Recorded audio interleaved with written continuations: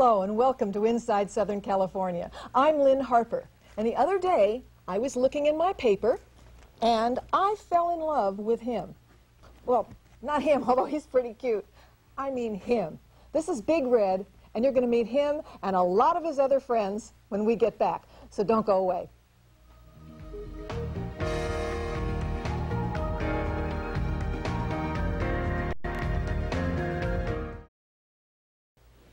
Welcome back. You're watching Inside Southern California, and I'm Lynn Harper. And if you want to see more of Inside Southern California, go to our websites at adelphiachannel.com or my website, lynnharper.com. We have pictures behind the scenes of all of our guests and a lot of other fun stuff. And speaking of fun stuff, I want to introduce you to Lauren Lay. Lauren, welcome to Inside Southern California. Nice to see you. It's a pleasure to have you here, and you brought a lot of friends with you today. We did. Also, I have another guest. And uh, she has the same last name as Lauren. Uh, good reason for that. They're Mr. and Mrs. Lay. This is Jessica Lay. Hi, Jess. Hi. And I met both Lauren and Jessica because I was really, really interested in that picture that I told you about earlier. When I saw Big Red in the paper, I said, I have to meet Big Red in person. And Lauren comes along with the package, apparently. and now he's brought Big Red. So let's talk about Big Red first, and then we'll move on to Jessica, because Jessica, you're also holding um, another interesting lizard. Right. So, Big Red, you are an African tegu, No, uh, Argentina, actually. Argentine Yep. tegu. One of the, the largest lizards found in South America. And this guy here is one of our uh, store mascots. Um, we've had him for quite some time. He's, he's about 12 years old. And as you can see, he's pretty much full size. Nice big, big lizard. Big, big, uh, big bodied lizard. I think he wants to that. say hello to me, don't you? Now, he's got There a tongue that really sticks out. I think that's really amazing that it comes flicking out. There, there it is again. And is Big Red at all poisonous? No, no, he's not poisonous. He's actually, they're uh, considered a very friendly lizard, as you can see. Oh, yeah. They um, use their size to kind of overwhelm a lot of things. They're, being that they are the largest lizard in South America, they're, uh, you know, they, this size here, he doesn't have quite a lot of predators, so. Well, you know, it would be a good thing if I asked you if he's poisonous before and put my hands Yeah, all over his face that's- to think about that. But he's really gorgeous. And uh, I came down to your, your place, Triple L Reptile, Escondido and Oceanside. I visited the Oceanside one, and I wondered if he was on the premises.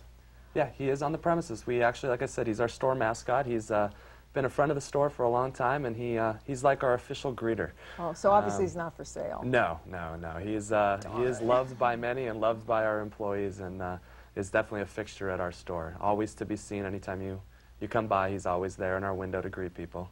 Well, he's probably priceless, so I guess there's no way to put a price on him, even if he were for sale, you know? Yeah, he's, he's more valuable to us as our friend than he is. Uh, Well, you know, I came down to meet you and Big Red, and uh, I met Jess.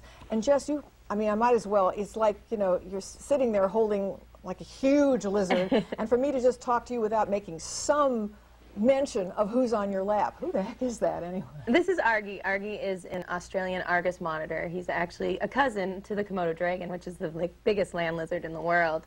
Um, Argy's a really cool guy. He's actually the store mascot for the Escondido store. So if anybody heads over there, they're going to see him out in the front window there. And so I take it this guy is perfectly non-poisonous also. He is also non-poisonous. He's actually the biggest lizard that you would find in Australia. Um, so he's a pretty big guy. We can kind me of see how big so he is here. see Just how big he is. How heavy is he, And anyway? oh, he's probably a good 40 pounds. me You're kind of welcome see to him. pet him I can, oh, I can pet him, huh? Oh, wow, he feels so rough. Yeah, he's really neat. He's not covered with feathers or fins, or he's covered with scales, just like any other reptile. So he's actually really rough, and he needs to shed as he grows. What does he weigh? Um, he probably weighs a good 30, 35 pounds. He's Wow. pretty, pretty hefty guy. Bigger than my dog. Boy, he's a big guy. Yeah. What does he weigh? Not as much, um, obviously. he's probably about 12, 15 pounds. Boy, oh boy, so 60 pounds of lizards here. Yeah. Yeah, and you know, um, yesterday, just yesterday, I went out to watch you because you have an arm of your business called the Wildlife Company. right. And you give all kinds of presentations to scout groups and libraries and schools. So I came out to watch you do a presentation. Mm-hmm. Lauren, you would have been proud. you fascinated these kids and you brought a lot of animals along with you, and some of them are here today. Yep. But I love what you guys do because there are some people, and I'm in sympathy with them, that say, uh, and I'll just I'll just tell you you all as well. People say, gee, you know, these types of animals should never be in captivity. They need to be in the wild. But I have to share with you that if children, when they're young, don't learn about these animals and how precious they can be and how valuable to um, the ecology, they're probably not going to have the respect for them. And I think I was telling you earlier, I was feeding seagulls on the beach when a little boy came along and started throwing rocks. And I asked the little boy and his mom if they would like to feed the seagulls with me. After this kid fed the seagulls, he understood that these are animals to be appreciated or birds to be appreciated. Right. And I think that's what you guys do with the wildlife company. Right, we have a small private zoo and we do education at schools and libraries mostly. Um, our goal is to spark an interest in the audience, the children, to actually help want to conserve and care about the ecology of the habitats that these guys come from. And so that's our job. All of our animals are ambassadors to their species in the wild and basically hoping to help kids really love these animals. Well, like the, the- like the kid on the beach with the seagulls, if the children don't get a chance to at least experience, I've seen, I saw Argie's, well, I didn't see Argie's picture, I think I saw Big Red's picture. Beautiful picture. But when I met Big Red, hey, maybe it's me, I don't know, but you realize they're sentient beings and they need to be appreciated as well. So you guys are doing great. Now you've brought uh, a lot of. Um, Yeah, a lot with us. Your whole wildlife zoo came here. Yeah. And uh, Kiki is your helper. And Kiki, I think, is holding something really large. Oh my gosh, who is This guy Kiki down bringing over here. here? Yowee. All What is right. this? is Tomako. Tomako is a Colombian red-tailed boa. Wow. Um, comes from similar areas, the Tegu in South America. Um, these guys have really incredible camouflage, as you can see. Also a reptile, so covered in scales.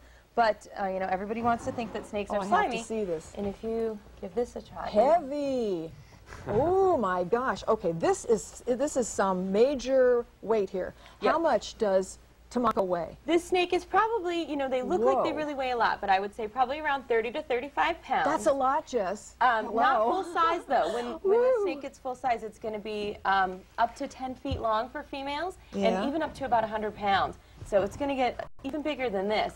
And we've got another snake that we're going to bring in in just a second. That's actually going to get quite a bit bigger. Okay. Um, one of the biggest snakes in the world. Lord of And mercy. this is a really neat Look snake. at this coming up. Because I can I'll feel muscles. There are muscles. Look at this. Now look at this. Yeah, See now? they're unbelievably strong. This Very snake strong. is, is semi-arboreal, which means it's going to live part of its time up in trees. Wow. So they actually really do use that tail to hold on. Okay, now this has to be one of the most gorgeous things I think I've ever seen. Yeah, albinos are uh, This is very gorgeous. unique.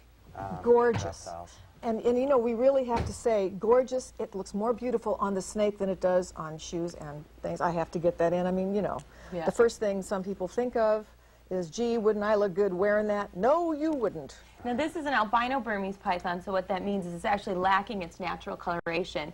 Um, a normal Burmese python would be greens and browns, really great camouflage. These guys, since they don't have that camouflage, you actually Wow. wouldn't find them out in the wild. You would find them, um, you know, just in captivity is the only place you're going to find No an kidding. albino Burmese Yeah. Wow. Because of the fact that the camouflage is erased, right? Yeah, the camouflage, th- of an animal like this wouldn't, wouldn't be able to blend into very much in the Ah. wild.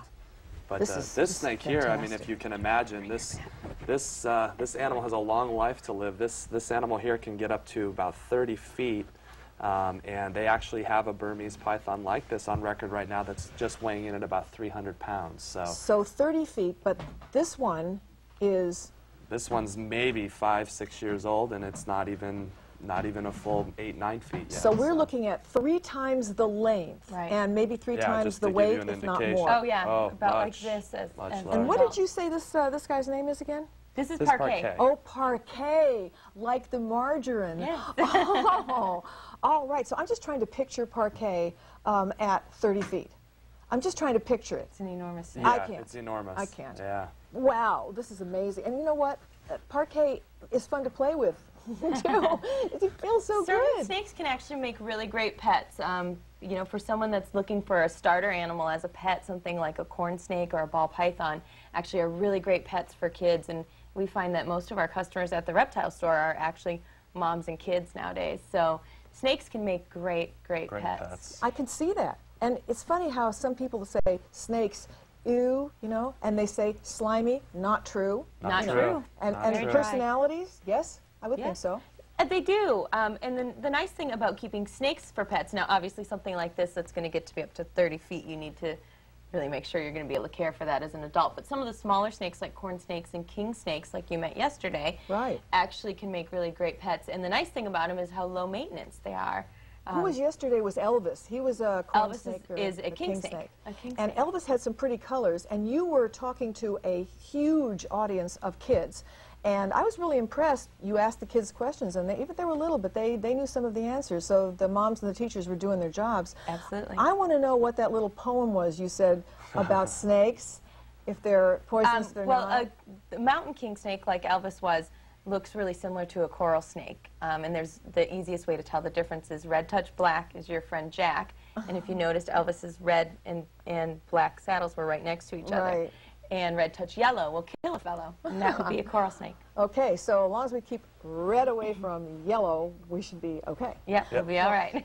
Now, I understand that you have brought um, our next guest, who is an American alligator, and Kiki's going to bring our guest, the American alligator, and you've named the American alligator this is Daytona. Daytona. Daytona is an American alligator. A baby American alligator. Obviously, he's just a baby. Oh. Um, he's about almost three years old. These guys only grow to be about one Thanks, foot Kiki. per year.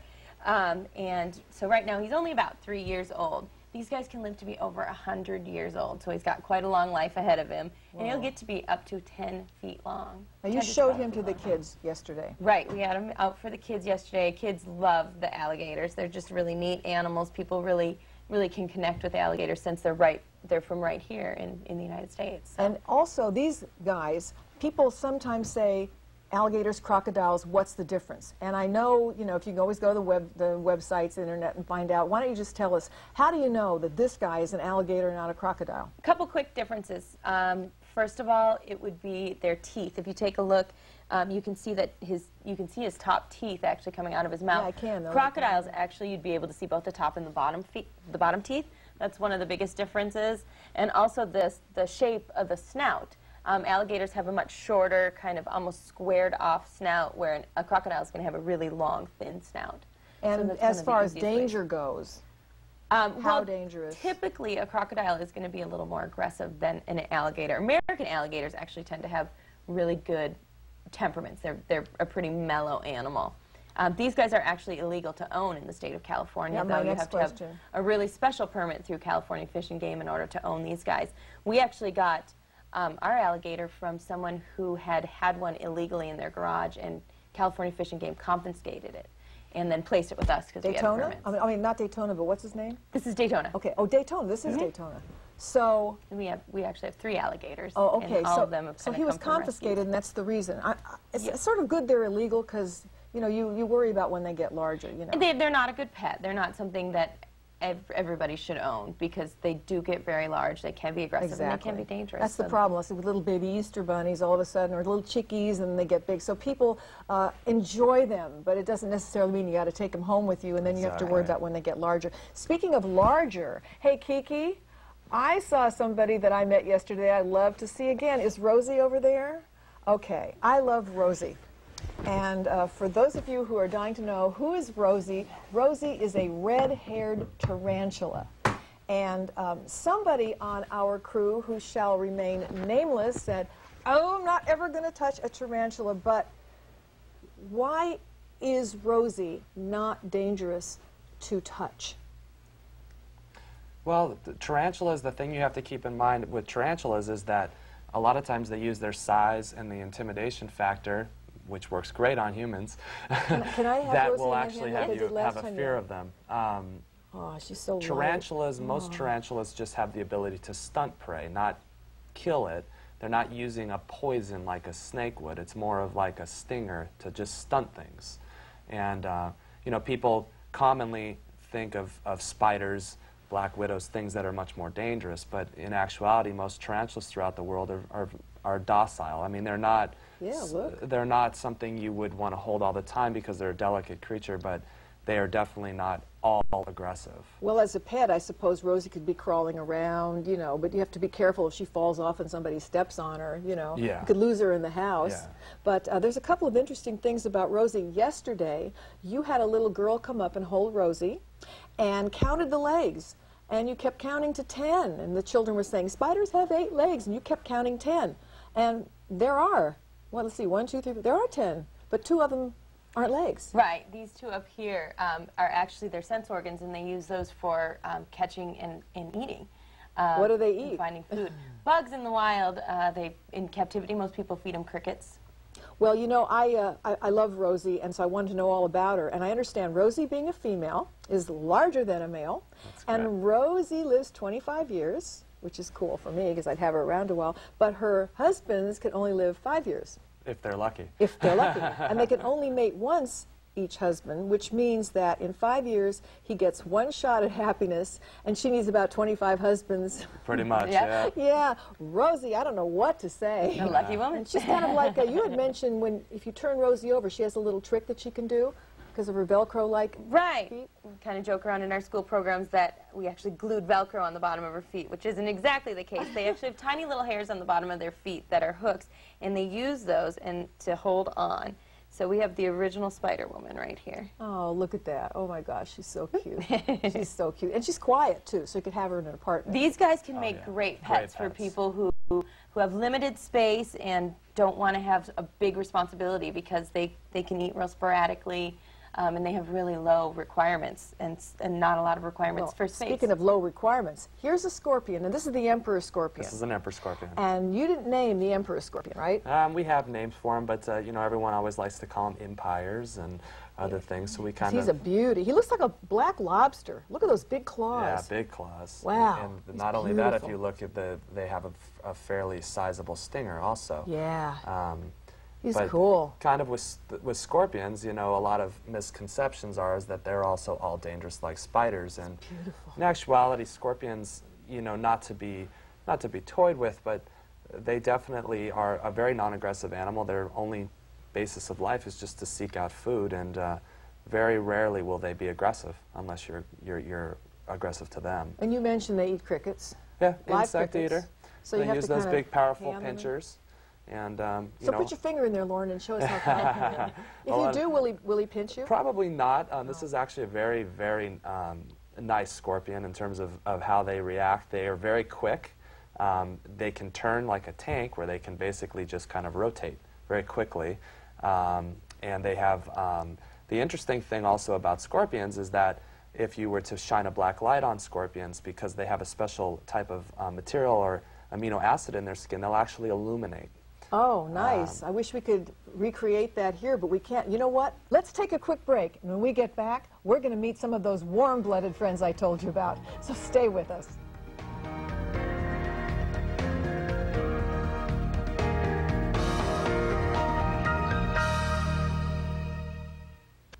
Welcome back. You're watching Inside Southern California. I'm Lynn Harper, and these are my guests, the Lays, Lauren and Jessica, and Zari. Zari, an African serval. Yeah, so this is Zari. She's an African serval. She's a member of the medium-sized cat family, so she's cousins with ocelots and lynx.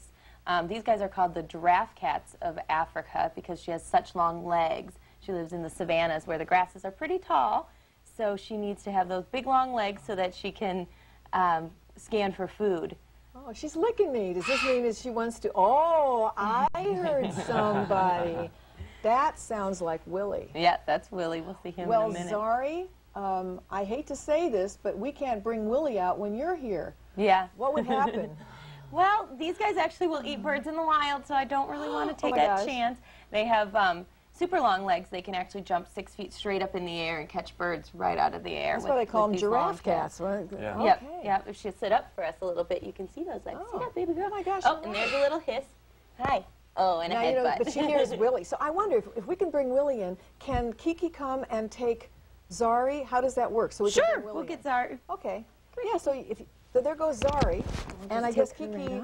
So Lauren, where do you keep Willie? Because uh, I'm hearing Willie yelling. Wow! Look at Willie. Well, Willie's got Ooh, a great vantage point of a beautiful, uh, beautiful area, and uh, he gets to look out and watch other birds. And he's Is he in your Escondido or your Oceanside? We uh, actually keep facility? Willie with our at our private zoo. Oh. Um, he he spends most of his times going to the uh, the birthday parties and entertaining kids, and Boy, I can see why. He's a severe macaw. You told me. Right, this is Willie. He's a severe macaw. He's what's called a mini macaw. So he's related to all the bigger macaws you see, like blue and gold and scarlet macaws. But this is about full size for Willie. He's actually about 19 years old. So, So he's young. He's young because he will live to be 80 to 100 years old. Well, you know, Willie. Before I heard you laughing, and you know, why isn't he? He's just acting like a bird right now. Yeah, Come on, we can see if we can get him to talk a little bit. Everybody always asks me, can parrots talk? Parrots actually don't talk. What they do is called mimicking. So he's copying what he hears. So let's see here. Willie, can you say hello? It figures, right? Oh, we're going to be shy today. A little bit of stage fright today. oh, that's all Can you say hello? Don't give him any food. He only talks. Can you say hello? Can you give me a kiss? Good bird. Can you say hello?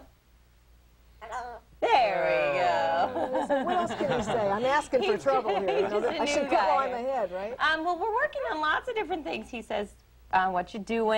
and "Hi, Willie," and he um, he says "cracker" sometimes. But those are his two that he does pretty well. The rest of them are kind of inconsistent. Well, I love his laughter. Unfortunately, he's not laughing now, but he was laughing in the studio, and Yes. Robert was walking by, and Robert started laughing as he. As Oh he- yeah, he just he's very entertaining. Yeah. Yeah. he's one of our favorites um, in our programs that we do. Kids always love the parrot. I get drawings and thank yous after the programs, and kids always choose to, to draw the to draw the parrot. So Willie the severe macaw. Willie the severe macaw. He actually can eat with a fork and a knife. If you want to see this, Oh yeah. we'll see if we can get him What to do is it here. this?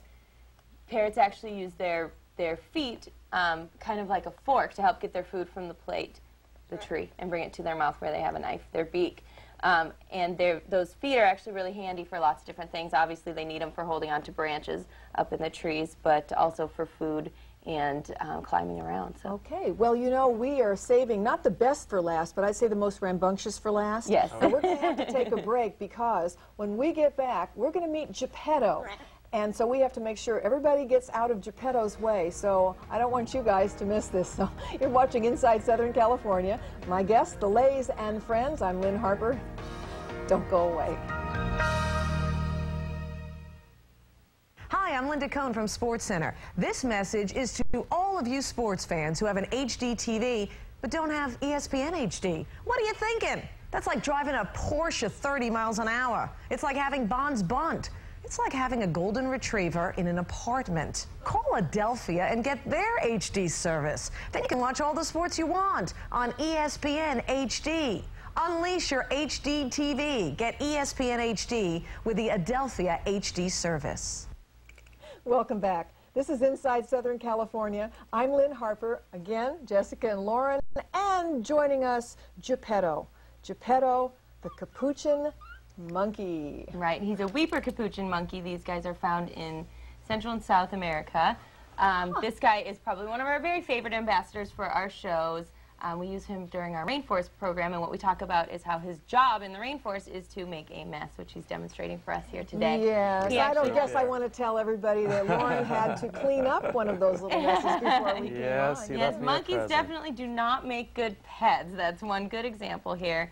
Um, these guys, you need a real special permit to have a capuchin monkey, and um, the only reason we're allowed to is since we do education with And these it, and it should be because you know it can't be stressed enough that they don't make good pets. And the reason Geppetto is here is because you do educate people from the time they're really little Right. that these are to be respected. Right. Not necessarily to be kept as pets or at all to be kept in the case of Geppetto, but to be respected. Because some people would say, well, gee, why do you have Geppetto in captivity? Shouldn't he be back where, what's the indigenous to, South America? Mm-hmm. But without Geppetto, a lot of children won't understand. They need to see him, and then they see him, and they're going to say, I really want the best for this little guy, so let's keep him where he's safe. Right, So you do a wonderful job at the Wildlife Company. Thank you. And I, I appreciate that. Speaking for, you know, mothers everywhere, no pets are monkeys. yeah, so what else about the, the capuchin monkey is so special? Well, these guys are really incredible animals. They're very intelligent. They have a really big brain compared to their body mass. So they're actually really smart, and they, they've used weeper capuchins like Geppetto for a program called Helping Hands, which is a program that actually trains capuchin monkeys to help handicapped people do daily tasks such as picking up the phone, opening the refrigerator, um, opening the door if there's someone there. And they're really incredible. And then another reason why they can do that is because they've got these really cool thumbs. They have thumbs just like we do. Opposable Even on their feet, they have opposable thumbs. And they have a prehensile tail, so they can actually use that tail to support their weight. And so he- this guy is, I can't tell. You never can tell age But he's a primate, right? Yep, he's a primate. He's almost um, almost five years old now. He's been with us since he was a pretty little guy. His mother rejected him when he was little, so he was had, had to be raised on a bottle, and that's why he made such a great ambassador for our educational programs. And uh, these guys used to be the traditional organ grinder monkeys, right? Right. They used to. I, you know what? They don't have them anymore. I don't think. When I was a little kid, down at the um, Long Beach Pike, I remember they had an organ grinder monkey, and this little guy tipped his hat, and he went in and got pennies from the people. Mm-hmm. What a life! you know, I'm really, really glad you guys are educating people that these are not pets, but they need to be appreciated. You know, I can't, I can't really say that enough. So, what other things about the capuchin monkeys are uh, making them different from all of these other animals, Beca- besides their intelligence, for one thing? Well, um, the fact that they're just so intelligent is one of the biggest um, things about primates. The opposable thumb, the prehensile tail. Um, this guy, like I said, his job in the wild is actually to make a mess. He fertilizes the rainforest by taking all this extra fruit and things and throwing it down Oh, to the say no more. He's I understand. It's kind of like what he did on the couch earlier. Right, and also seed spreading. Hey, Geppetto, now you're Well, I want to thank you guys for being here. First of all, I want to make sure that everybody knows if you want to see some of our guests today, you can go to see Lauren and Jess at uh, Triple L Reptile, Escondido, and Oceanside. But the Wildlife Company, which is really super. And we are obviously on our screen. If you'd like to take a look, you'll see the Wildlife Company and uh, LLL Reptile websites. And speaking of websites, of course, you're going to want to go to adelphiachannel.com and my website, lynnharper.com, and you can find out all about the pictures that we were taking today, the behind the scenes information, and everyone can contact you guys through all of that. So I, I can't thank you enough. It was a big deal to bring all of these animals here. And Kiki, thank you very much for also helping out. I really appreciate it. So Lauren Lay, Jessica Lay, Geppetto, I want to thank everybody for being here. And don't forget, hang with us. We'll be back next week. I'm Lynn Harper. Take care.